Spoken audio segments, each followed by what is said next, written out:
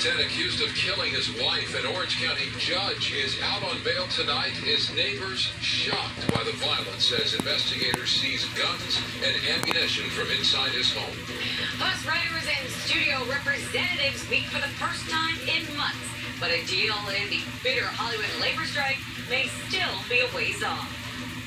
I got cemetery doors. Get out of there, And Taylor Mania continues to take over Los Angeles as Swifties converge on SoFi Stadium for a second night. Now on the news at 10.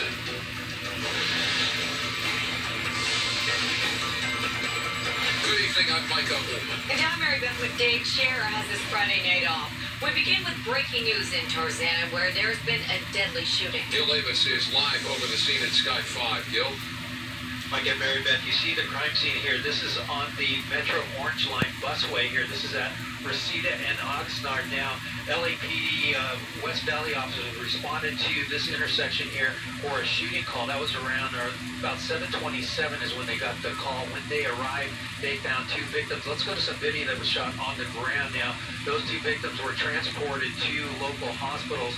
Uh, their condition, one was in stable condition. The other one was transported to the hospital, but unfortunately passed away at the hospital. Now back out live here, we see homicide detectives here at the scene. The busway is uh, shut down temporarily right now as they investigate the scene. But the shooting appeared to have happened right here at this bus stop, right on that uh, busway. So at this point, uh, they're investigating. Very little is known about the uh, suspect or suspects in the shooting. But for now, a homicide here earlier tonight has taken the life of one person and hospitalized another. That's the latest overhead up in Sky 5. I'll send it back to you in the studio. All right, Gil, thank you.